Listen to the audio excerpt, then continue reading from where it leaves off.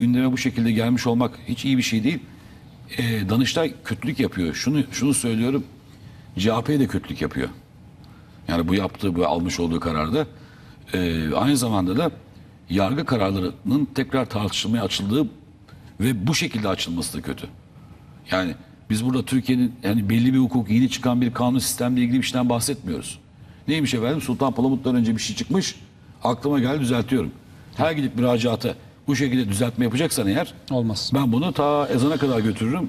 Ona da öyle şey olmaz ama bunu yapıyorsunuz nasıl öyle şey olmaz? Mezarlık haberinize ilaveten bizim biliyorsun WhatsApp hattımız var. Sürekli mesajlar geliyor. Konuyla ilgili olduğu için falan hani bir tanesini seçmiş arkadaşlar. Mezarlık haberinize ilaveten demiş bir izleyicimiz. Yılmaz Büyükerşen Eskişehir Muttalip Caddesi üzerindeki mezarlığı taşıdı ve park yapıldı diyor. Şimdi orası alkoliklerin uyuşturucu müptelaların mekanı oldu. Bırakın gece vakti gündüz bile insanlar çekinerek kullanıyor demiş. Eskişehir'le ilgili olarak hani yerlere Bilgi göklere olarak kalsın. sığdıramadı. Yani normal şartlarda şey vardır onu söyleyelim. Naklı kubur diye bir şey vardır. Yani mezarlık nakl e, bir yerden bir yere nakledilebilir. E, ama şu var e, mesele burada tarihi bir mezarlığın tarihten bahs tarihi bir mezarlığın ve İslam'la anılan İslam mezarlığı diye anılan işte belli ulemanın yaşadığı tarihi bir bölge içerisinde tarihi bir binanın 1940'tan beri öyle yazıyor. 1940'ta başladı diyor tamam. Evet. Bunun olması bunlar hep çok bunlar yani tartışacak şeyler değil diyoruz ama e, göz önüne alınarak karar verilmesi lazım. Danıştay bu konuda dikkatli olması lazım. Danıştay'a da daha böyle akılcı, daha böyle artık yerini, mevkiini uygun bir şekilde Danıştay olarak görevini yürütmesi lazım. Asla yetki aspına girmemesi lazım. Kanun yapıcı değiller. Unutmayalım.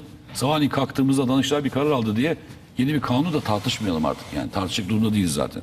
De bu Helenistik meselesi de burada iyi olmuş. En azından yani hemen direkt Ankara'ya çağırmış olması e, şeyin ne derler ona e, Uganda Büyükelçisi'nin. Ama şöyle bir sakat düşünce de var. Ben dün bunu görünce birkaç yerde bunu bunu savunan insanları gördüm. Hatta bir Twitter üzerine. Bu Büyükelçinin efendim ne olacak Zeus, Zeus bilmem ne Yunan mitolojisi. Burası Yunan Troya e, Anadolu mitolojisi. Burada Frigyalılar var, Lidyalılar vardı. Artuklular gelmişti. Şu vardı, bu vardı. Bu belli bir kültürü anlatır falan diye.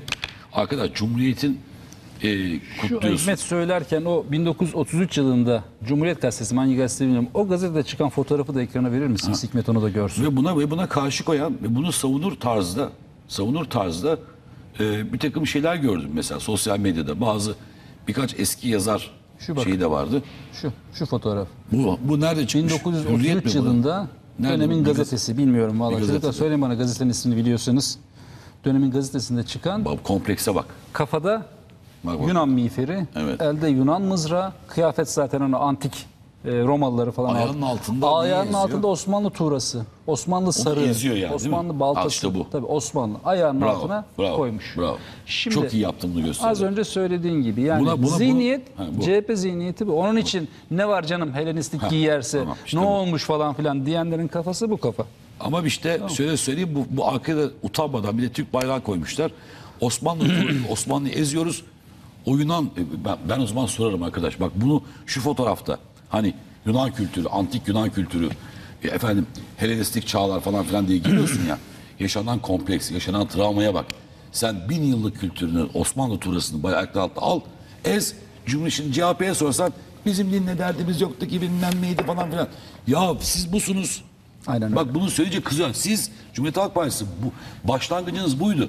O yüzden Aynen ahırı da bilmem cami ahır yapmışız diye boş boşuna konuşmayın. Bu bak al aradan geçmiş 80 sene al. Şimdi de oturup düğün salonu yapıyorsunuz tarihi mezarın üzerine ve bunu savunuyorsunuz. Bravo. Al adamlarınız da Nido Zeus oluyor. Şeyi Allah'tan hatırla. başka ben yaz başka Allah'tan başka tanrı ve tanrıçılar var biliyorsun. Çıplaklar.